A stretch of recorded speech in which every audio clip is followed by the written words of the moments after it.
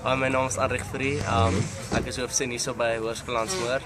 Ek was laas jaar by die Skills for Life um by St. Stithians. Dit was 'n wonderlike ervaring. Ek het 'n baie baie eienskappe geleer. Ek is baie meer bewus oor um rape and abusement. Ek het financial management geleer, time management geleer, driving skills.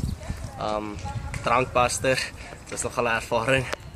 Um ek dink hierdie hierdie ervaring behoort die graad 10s wat nou deelneem baie bewus te maak oor wat rondom hulle aangaan.